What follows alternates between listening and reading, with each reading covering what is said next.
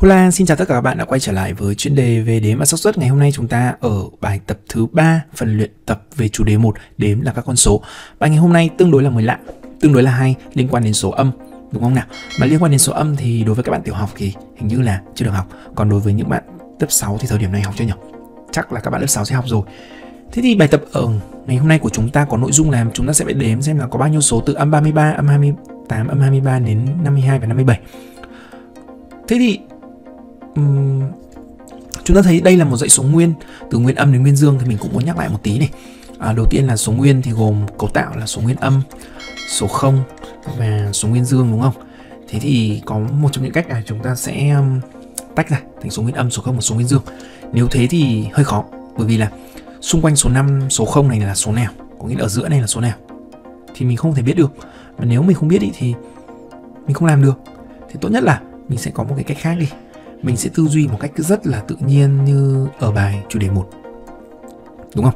Chúng ta sẽ chuyển tất cả các số này về một đơn vị chẳng hạn. Đó, thì có nghĩa là mình sẽ phải cộng thêm bao nhiêu đơn vị? Theo các bạn. Bởi vì là tất cả các dãy số này đều có quy luật chung rồi. Các bạn thấy là khoảng cách giữa chúng đều là 5 đơn vị rồi mà, đúng không? Thế thì bây giờ từ âm 33 mà chuyển về một thì chúng ta sẽ phải cộng với 34 đúng chưa? Tất cả các số này thì chúng ta đều cộng với 34 đúng không nào? Cộng với 34. Như vậy là âm 28 cộng 34 là bao nhiêu nhỉ? Chúng ta biết rằng là sẽ bằng 6 đúng không? 6. Còn âm 23 cộng 34 thì sẽ bằng 11. Bởi vì là nếu mà chúng ta cộng 34 mà quy luật là 5 đơn vị thì các bạn cứ cộng 5 cộng 5 cộng 5 thôi, đúng không? Còn đến số cuối cùng à, 52 cộng 34 đi thì bằng à, 86 chẳng hạn. Còn 57 cộng 34 thì bằng à, 91. Như vậy là chúng ta thấy rằng là chúng ta được một dãy các số là 1 này, 6 này, 11 này, 86 này, 91. Bây giờ khoảng cách là 5 đơn vị thực sự là để đếm được thành năm nó nó quá khó các bạn ạ. Nó quá khó. Thế thì bây giờ phải làm như thế nào? Mình có một cách là khoảng cách bằng năm thì mình sẽ chuyển tất cả các số này về thành chia cho năm. Sau đó mình chia cho năm chắc chắn nó sẽ ra một. Có nghĩa là từ đây rồi thì mình sẽ làm một động tác chuyển nữa. Đó chính là mình cộng thêm 4 đơn vị nữa.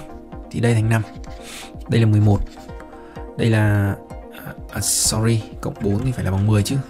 Còn đây là 15 đúng không?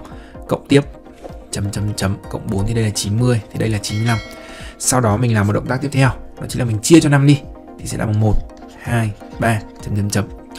90 chia 5 thì được là bao nhiêu nhỉ? 18 mà các bạn, đúng không? Còn đây là 19 ok, như vậy có tổng cộng là 19 số tất cả. Quá tuyệt vời các bạn ơi. Mình tự hỏi là nếu không dùng cách này, mình thử dùng cách liệt kê, kiểm tra xem rằng tư duy này của mình có đúng hay không được không nào? Cái liệt kê là cách chân phương nhất mà gọi là cách đếm mà âm 33 này trừ cho 2 thì bằng à, trừ cho 5 là âm 28 này. Sau đó trừ cho 5 là âm 23 này. Sau đó trừ cho 5 tiếp thì như là có quy luật ở đây là âm 18 này. Sau đó là âm 13 này. Sau đó là âm 8 này. Sau đó âm 3 này. Sau đó cộng 5 tiếp là dương 2 này đúng không? Xong đó là 7 này. Thì như là cứ quy luật 5 12 7 rồi đúng không? Rồi à, sau đấy nữa là phải đếm tiếp vào các bạn. Mệt quá nhỉ? Đó là 12 này 17 này um, 22 này 27 này 32 này 37 này 42 này 47 này 52 và 57 đến chưa các bạn? Ôi đến rồi. Thế bây giờ mình đếm xem là bao nhiêu số nhá. Mình thử check này. 1 2 3 4 5 6 7 8 9 10 11 12 13 14 15 16 17 18 19 Bingo! Như vậy là tư duy của mình tuyệt vời, Đúng rồi. Các bạn thấy là cái tư duy nó rất là tự nhiên các bạn. Mục tiêu của mình là chuyển về số 1 Nhưng khi chuyển về số 1 rồi thì lại rất là khó đếm từ 91 đến 1 Đương nhiên là nhiều bạn sẽ bảo là Mình lấy số hạng cuối trừ số hạng đầu chia khoảng cách cộng 1 cũng được, đúng không? Nhưng bây giờ thì mình thử đặt câu hỏi là như thế này. Ngay từ cái số hạng đầu này, mình sử dụng công thức là lấy số hạng cuối trừ số hạng đầu chia khoảng cách cộng 1 thì còn ra kết quả đúng như vậy không? Ở đó, thì ví dụ như 57 mà cộng với à, trừ cho âm 33 thì sẽ là cộng với 33 thì bằng 90 đúng không? 90 trên 5. 90 trên 5 thì được ờ, uh, 10 mấy các bạn? 18. 18 đúng không? 18. 18 cộng 1 là bằng 19. Ok. Như vậy vẫn đúng.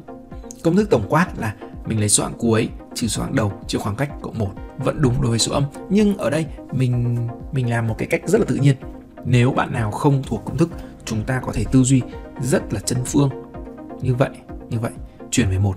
Sau đó không sau khi chuyển về một xong, thì chúng ta không thể làm thế nào mình chia được, mà khoảng cách là năm. Chúng ta cộng thêm bốn đơn vị để chia hết cho năm. Các bạn đừng trừ đi một đơn vị. Nếu trừ đi một đơn vị thì cũng được thôi. Nếu trừ đi một đơn vị thì số bắt đầu lại là số 0 thì tí nữa khi mình đếm thì mình lại phải cộng thêm một. Các bạn hiểu vấn đề không? Đúng không? Nếu ở đây nhá các bạn cũng có một cái động tác là các bạn trừ đi một đơn vị thì đây nó là không đây là 5 đây là 10 thì đây là 90 thì mình sẽ chia cho họ chia cho 5 thì đây vẫn là 0 đây là 1 đây là 2 thì đến đây là 18 thì từ 1 từ 0 đến 18 thì có tổng cộng tổng, tổng cộng là 19 số các bạn ạ. Đó tư duy cũng rất là hay đúng không? Rất là mềm mại. Rồi thì bài ngày hôm nay đến đây là kết thúc. Xin chào và hẹn gặp lại tất cả các bạn. Nếu các bạn thấy hay nhớ bấm like cho mình nhé bye bye!